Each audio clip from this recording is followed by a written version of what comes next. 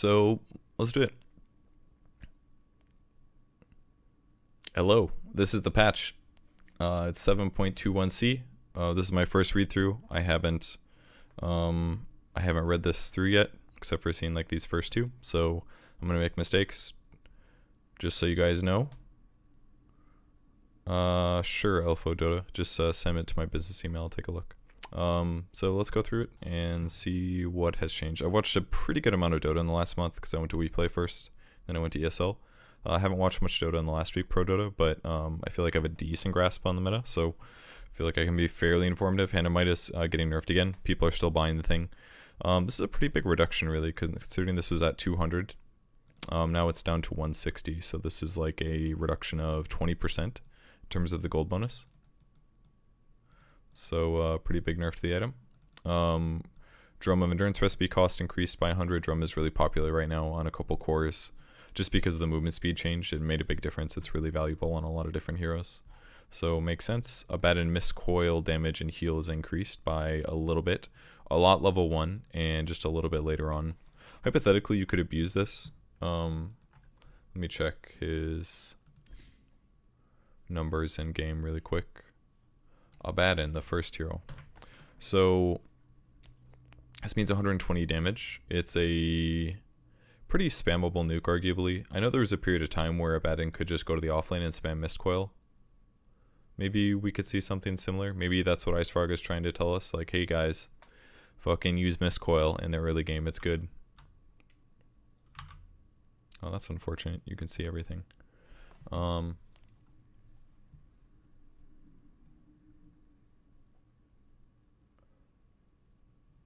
Let's do... Okay. Um, but yeah, that's what this kind of looks like. Like a please use this in the early game. Um, the fact that it's the same late game is fine. But Abaddon's in this weird place, kind of like Omni, where they're they're kind of designed around being like support heroes, kind of, in the sense that they heal allies and stuff. But players found that it was just better to play them as like tanky offlane heroes because they're strength heroes, and then you just buy radiance and heal yourself repeatedly is what ends up being better usually. So, um, yeah, I am still not sold on the heroes being anything other than offlane heroes, but I would like it for them to be in that position because I do kind of like playing heal bot sort of heroes. I think it's fun. Um, acid spray radius increase, very very small buff to the hero. This will help you with like farming, harassing heroes, trading with enemy heroes, uh, like laning stuff basically. Um, is slightly better a int gain has gone up, so more mana. I think this is kind of needed because of the third skill. Chilling Touch, I don't know, what's, what's it called? I can't remember. The third skill for AA is actually really expensive mana-wise, so having a higher int gain means you're going to be able to have a bigger mana pool in the mid-game. Same thing with spamming um, Ice Vortex. It just costs a lot of mana to cast everything, so... And the duration for Ice Blast is increased by one second, which is pretty nice. Um, Bounty Hunter agility gain is reduced. Bounty has been pretty good. Um, he got picked at WePlay as a core. I think he had, it had been done before that, but also played as offlane hero. Wasn't like the most dominant hero at ESL, but it was played a little bit. So I think the agility gain nerf is completely fine. The hero can kind of uh, match net worth with cores without getting last hits. Um, if you get a lot of, if you're if you're a core position and you have a decent laning stage, and then you just start roaming around and slapping people and getting track gold, that's kind of kind of abusive. I'm not not really sure that um, Abaddon will be a thing necessarily just because of this.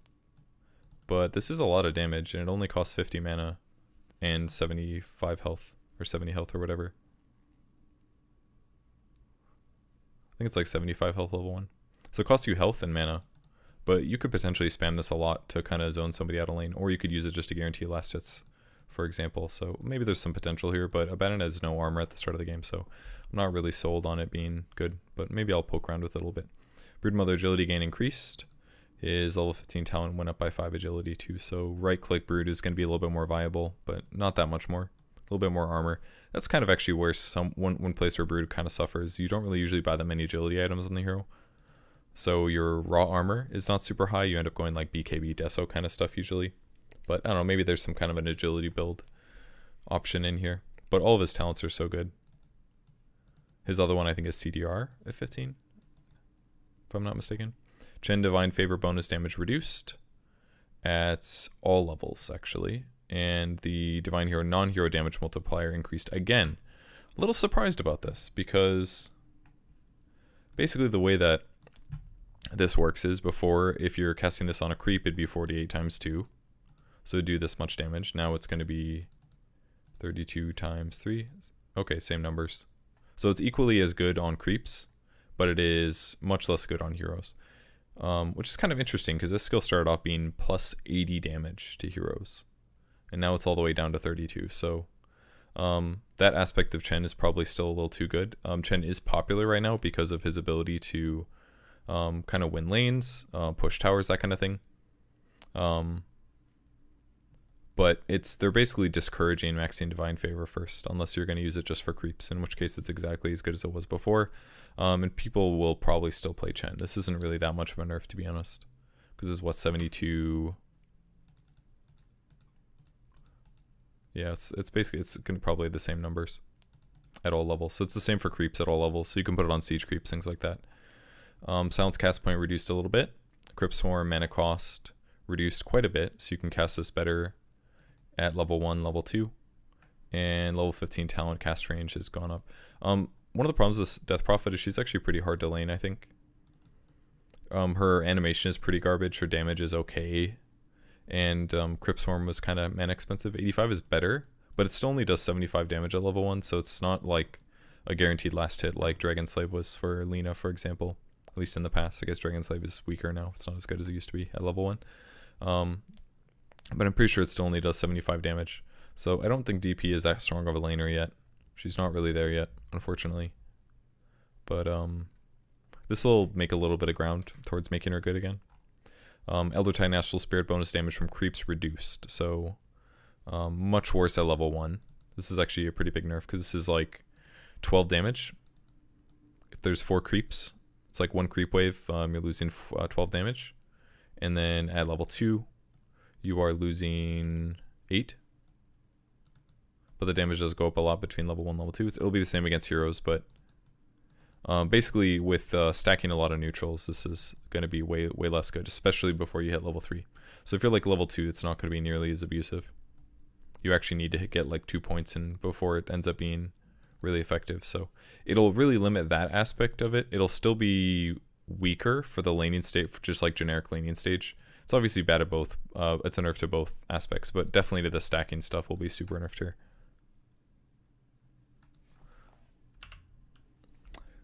Thank you. Um, Enchantress, uh, Impetus, damage increased. This is late game, so basically just a late game buff to Enchantress right clicking. Enchantress is being played similar to Chen. Um, the difference is you don't have the damage bonus. Um, it's still pretty much the same playstyle. OG ran enchant a lot, so I don't think they'll be upset about this. Um, although they usually aim for early game stuff, not necessarily late game, so I don't think they'll actually care about this buff to the hero. But if you do like playing Enchantress, this is better better for her. Um, healing Ward movement speed reduced by 50. I think this is actually super fair. The healing Ward is really hard to kill if you're a melee hero right now. If you're a ranged hero, it's totally doable, but melee heroes have a lot of trouble dealing with it. So, and Jung is still Jug is still pretty good as a hero, so I think this is a fine nerf. Um, Tidebringer no longer provides a bonus on denies. I think this kind of needed to happen. It was a little bit too busted. Um, you'd get bonus damage as long as you didn't use it. You could power deny pretty much constantly. Um, it was just a little bit too abusive, I think. Um, you should still be able to last it really well. Tide or uh, Kunkka will still basically be the same, but it's basically taking away the ability for Kunkka to just power deny in like rec lanes, which is usually why heroes like this get picked a lot anyways. Um, Kunkka and who's another example? Uh, remember like Drow getting nerfed for, for her damage bonus. All those things are, are just a little bit too strong laning. So it uh, is going to take Kunkka, make Kunkka less of a, a guaranteed strong hero against certain matchups. Um, while still retaining what's good about the hero. Uh, Lifestealer strength gain is reduced. The hero is still pretty good. Um, he's gotten a lot of strength gain nerfs actually. Strength gain used to be a lot higher, like closer to 4, I think, before he started getting nerfed, but he's a little bit worse now. Um, Lina's talents are being buffed in both sides at level 20. She's actually been buffed quite a bit recently. Um, this isn't that much difference though. This is a 5% attack speed buff, or 5 attack speed buff, so that's what, 13, 15 attack speed when you have 3? 15 extra. That's almost nothing. But it's a tiny buff. And then the spell amp also buffed. I kind of like the spell amp one. That build look is kind of enjoyable. Um, I haven't tried Lina support in a while though. I imagine it's still garbage. But I don't know. Probably fun to mess around with it if you can get it to work. Uh, Clips max beams increased by one at all levels, so this is pretty nice. It'll be a lot easier to use this when there's more units or a creep wave or something. Much higher chance you get beams on targets you want. Lycan is very strong. Strength gain reduced. Intelligence gain increased for Medusa actually, so that's a buff to her. Kind of interesting. Uh, maybe she saw too big of a drop in win rate after they changed Mana Shield to level 25. So they're upping her intelligence gain to compensate. Um, she still has a terrible int gain or strength gain and this isn't like the best in game, um, but this will definitely give her more mana pool, make her shield better. Uh, Meepo getting a little bit of buff, a little bit of a buff, not much, but um, slightly more agility over the course of the game, and a little bit more strength, not very much, just a tiny amount. Um, although keep in mind that Meepo does level up really fast, so strength and agility bonuses will actually make a difference. Mm. Run intelligence increased. Um, I think this is needed. She has really shitty base mana. It'll make playing her as like a support more viable. Although some teams do still pick her. But man, this is actually atrocious intelligence gain. 1.7 before. It's actually insane. Really limited her ability to cast spells early on. But this is a difference of what? 24 mana here. And over the course of 20 levels, it's like two more int, so it's like 48 more mana late game. It's really not that much, but you know, these little kinds of tiny buffs will make a difference sometimes. Mischief now makes you immune to damage briefly rather than invulnerable. Okay. So what this means is you can mischief dodge my stun, but you will still get stunned. Whereas before, if you timed it perfectly, you would fully disjoint basically because you'd be invulnerable. When you're invulnerable, things don't affect you. So it means the same if there's an AoE nuke as long as it's a stun, um, you will uh, still be stunned. You just will be able to stop the damage. That's a really good um, solution to this, basically. That won't make it as easy to just like outplay certain heroes. I'm a fan. Um, Morphling strength gain increased, which is uh, more stats that you can transfer to agility. So this is essentially agility bonus, you could argue. So not bad for Morphling. Morphling was selectively picked, actually, at WePlay to great effect against what heroes? Um, against Terrorblade It was really good against Terrorblade. Uh, that was at ESL actually, but there were some other games where Morphling was really effective against like Life Stealers. Nature's Call Treant damage reduced. Um, Nature's Prophet has been um, a very strong hero in this patch in terms of being able to set early game tempo, and it's been played as support and cores. Uh, so a nerf to the tree damage in the early game, I think, is really really fair. Um, people usually still max out Nature's Call first, anyways, but this will definitely justify it a little bit more. Not that it's that much of a damage increase. They'll still have equal damage or tankiness, but um, excited for Pango to get nerfed. Uh, no longer triggers off Pangolier illusions. You could buy Manta style and get a lot of Lucky Shot procs, and the slow is also reduced. Uh, but Lucky Shot's quite good right now. Definitely better than the old Pango uh, passive, where it would uh, reduce your armor all the way.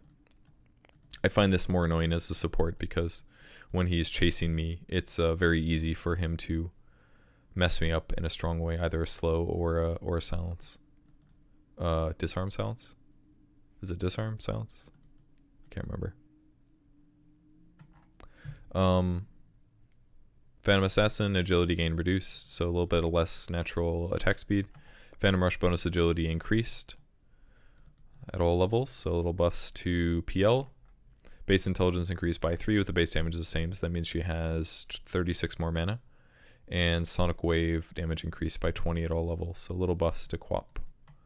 Riki base movement speed increased by 5. This is huge because we're talking about um, big cascading effects in terms of percentage based um, movement. Like once you go grab boots, for example, you're going to be a lot faster. But Riki has basically basically been untouched for a while now, I feel like. Um, Sand King base int increased by 3. That's also really needed. That hero has a really garbage base mana. It's like low 200s, I think. But that's like, what, 36 mana? Sand King's stats all around are really garbage, actually. His agility gain's really bad, his strength gain's good, but his int gain is kind of bad, so he's just kind of like a... It's kind of a weird hero. But um, I haven't really played him. I don't think since I since they changed his um, um, Sandstorm. I don't think. But I don't I don't think it really functions as a support anymore. Unfortunately, he's another one of those like better as offlane heroes, kind of. Um, Shadow Fiend base strength increased by two. That's 40 HP. That's pretty good. It'll help. Helping his laning. Uh, Shackle's cooldown increased. Gotta level it up to scale it down. Can't abuse it as well early on. Um, headshot damage is buffed. big fan of sniper buffs. 10 damage at all levels. And shrapnel charge replenish rate improved a little bit. Uh, this is okay. It's not like the most impactful thing, but this is kind of a lot of damage actually. 30 damage is pretty big in the early game. Um, I haven't played much sniper lately. Feels like a lot of heroes are good at gap closing these days. Maybe I'm wrong, but um, base health regen increased for Spirit Breaker, so you can roam and support a little bit better. Electric Vortex no longer slows your hero. Okay, that's nice. That's interesting. That it's been like that for a very very long time, but um, you basically you can use Electric Vortex and you won't have to use Ball Lightning afterwards to move, which is important because normally it doesn't affect you very much because you'll you'll slow them, you'll stun them, you'll be slowed, and then you just Ball Lightning to go do your next thing. But now you don't have to do that. You can actually just you'll be way better at chasing now actually like there's there's no reality where you don't get at least like one electric vortex semi early if you plan to fight at all. Because now it's just like a one second stun that doesn't slow your hero for two and a half seconds, because that's what it used to do before. It would slow your hero for like two and a half seconds, I think. Um, which basically meant like like I said, you got a vortex and you got a ball lightning. But now it's just a stun, extra charge, doesn't slow your hero. You could like vortex a guy and run away, for example. There's just uh that's a that's a pretty huge buff to the hero in my opinion makes the skill a lot more viable and more mana efficient. So I think that's great. Sven nerfed a little bit too, but not that much. Techies remote mines cooldown reduced by two seconds. All right, Slacks will be happy. Means you can mine up. I mean, that's a pretty big reduction. It's 20% reduction in cooldown, so you can spam these out a little bit faster. And Templar agility gain going up. Refraction bonus damage buffed by 5 at all levels. Pretty big. Strength gain reduced for Tide. Level 20 talent for Troll is reduced. Troll was actually pretty popular. Both of the tournaments I watched. Ursa movement speed reduced. That was needed. Um, and lots of Viper nerfs, it looks like. Um, agility gain reduced by quite a bit. Nether Toxin AoE damage no longer stacks with itself. It's stacked? That was, that's busted. I had no idea that it's stacked. And the mana cost is increased as you level it up, so you can't spam it as much. It's still very good. Certainly still very good.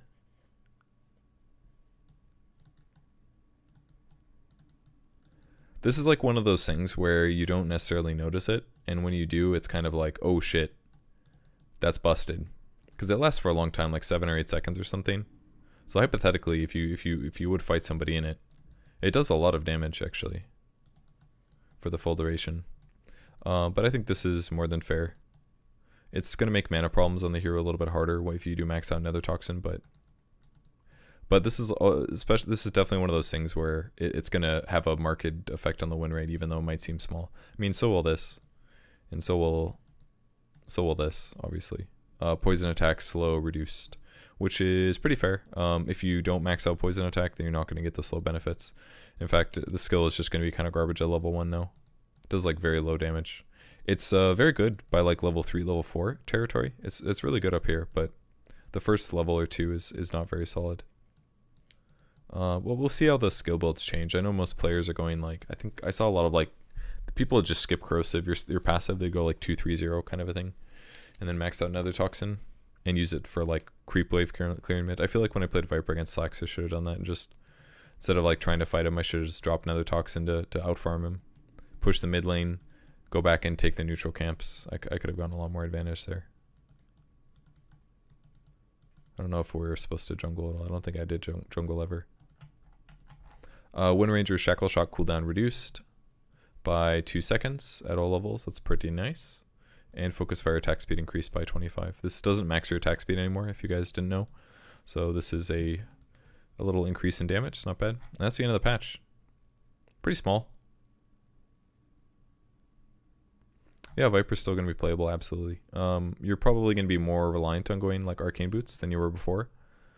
because of this. But I mean, if you don't even max out Nether Toxin until later, then it doesn't matter. I mean, you should do that because that's what's strong right now. But Hero's still abusable for sure. But um, this is going to be, this is maybe the biggest nerf. At least early game tempo wise. It's going to be a lot harder to get these early kills without allies. Because people just aren't going to stand in your Nether Toxin. Whereas 25% slow plus your ulti slow is like, your ulti is like 40% I think level 1 those two like these two those two together by themselves under Nether Toxin would provide a lot more slow but now it's pretty garbage you actually need like multiple points of poison attack before your disable starts getting good but you kind of just farm with Nether Toxin anyways well that was uh that was pretty straightforward um i would describe this as um very small nerfs um very small adjustments, basically. Nothing really to scream home at. Is that the right term? No, I don't think it is. Um, the Midas is uh, semi-significant, I would say. Nope, still no patch. Okay, cool. Uh, the Kunkka change, um, it's going to be really big in pro scene, yes, because you can't necessarily just pick the hero and rely on on him to like dominate your lane. Like there's gonna be more matchups where Kunkka doesn't like poop on people, basically. Can't update it, patches and shipped yet.